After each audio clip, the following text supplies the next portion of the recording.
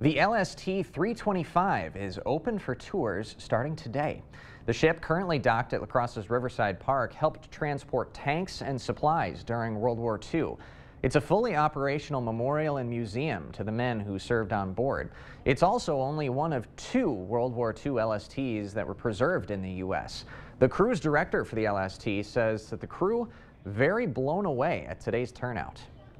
We're impressed.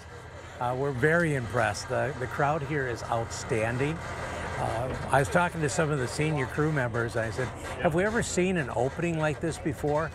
And they said, the only time we've seen it this good is Pittsburgh. Rupp says that was when the ship was in Pittsburgh. It was there for an LST convention, so that gives an idea of how popular today it was. One tourist says this visit has reminded her why history is so important.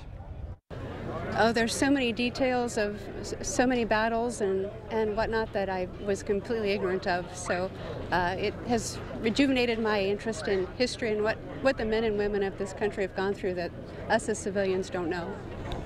Today's tours did end at 5, but if you'd like to tour the ship, tickets are $15 for adults, $7.50 for kids between 6 and 17. Meanwhile, kids under 5 will be able to tour the ship for free.